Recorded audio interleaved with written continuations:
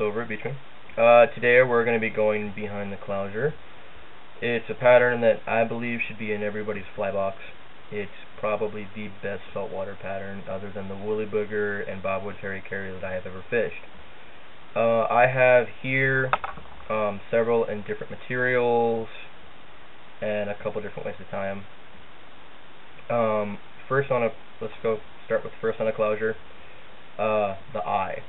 I like to use a dumbbell eye, preferably one that has a pupil on it, or an eye in it. Uh, for a hook, there's a few different hooks that you can use. Um, the ones I tie with, a Daiichi 2546, size 6 and 4. Uh, for a Gamakatsu, which is a preferred hook, the SC15 in a size 2. Size 2 seems a little big, but when you compare it to a Daiichi, the Daiichi 2546, they're about the same. Um, the Gamakatsu is just a little thinner, and it does less damage to the fish for saltwater hook. For a freshwater hook, the Daiichi uh, 2450 is probably the best hook for a Clouser.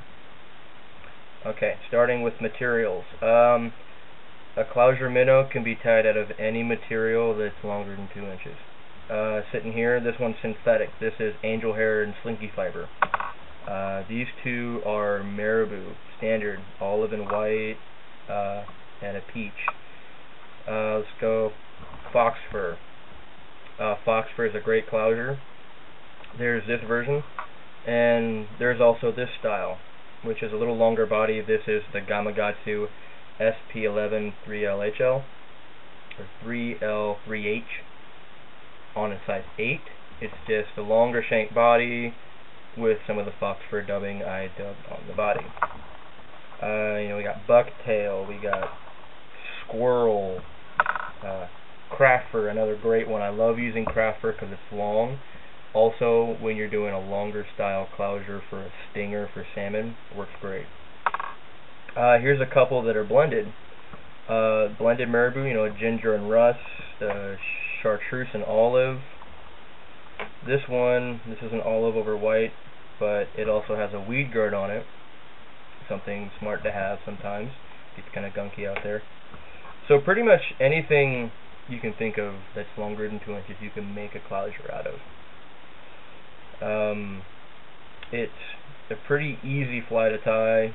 I mean, my, my I myself, I'll take a box of 100 when I'm per, when I'm per, you know time for production and I'll just tie the eye to the hook get them all set and then once that's done two dozen an hour. I mean it, it's a fast fly and it's fairly inexpensive. That's the nice thing about this fly it, it is inexpensive. And there's so many different ways and color combinations you can come up with that you could fill a fly box I have with disc Clousers so I'm gonna get to the vise and we'll show you how to tie one. Alright, so here we're going to get started. This one, I'm just doing them on a 2546 number 6. Uh, fairly standard. As far as sizes, these are, these ones I'm showing you predominantly for the saltwater. Um, the colors may not be, but like hook style and stuff like that, yeah. So, I've got the eye on there already. We'll start with the real simple one, which is just a basic white, olive over white Clouser. Take our marabou, measure it. I have a spot on my vise I'll bring it to to act as my measuring unit. And we'll just do a couple wraps there, pull it over the eye, couple wraps there. Now the thing to remember with Clouser is when you're starting off, you're basically tying it upside down. And we'll just cover this up.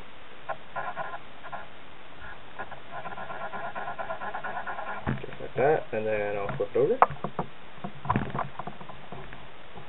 And tie in the top half. The same thing again. Make your measurement.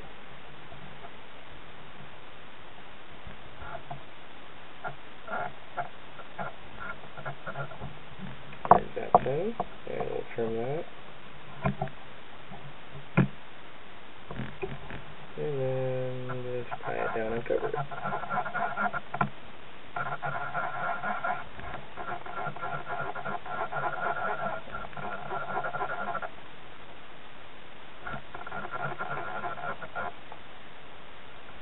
Sometimes you get a couple further that want to stick up and say hi. now the second part of this. Um, Clouser minnows. Generally, I put a flash in them. There's many different types of flash out there. You can use whatever you want. Um, for these, I just use Mirage because you can get lots of it in a pack and it lasts a long time. It has a lot of flies. Basically for this, I take a strand, cut it in half, and that'll get you about three flies on this size. And I'll V it, and then just put one on each side. Other flashes you can use, you know, you can, before you put on the top layer, you can put in crystal flash, you can put in angel hair, pretty much whatever you want. And we'll just polish that off. Head's really clean. Whoop, turn the vise. And we'll just do a little bit of wood finish.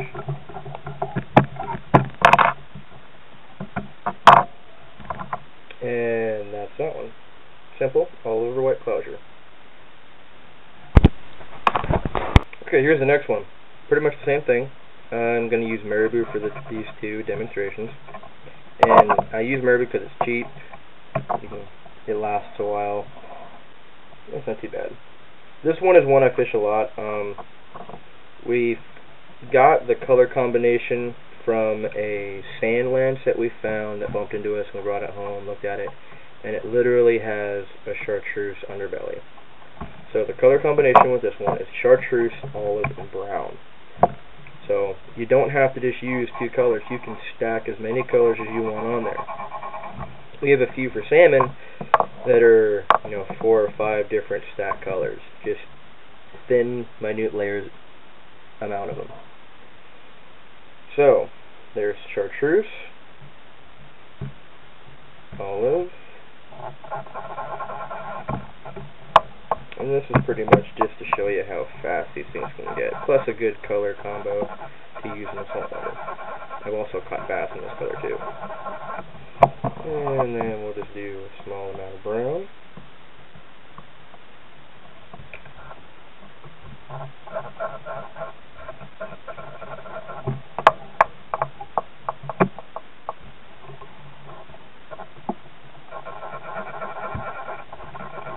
Cover the head nice and clean. And again, I'm going to use a Mirage for the flash.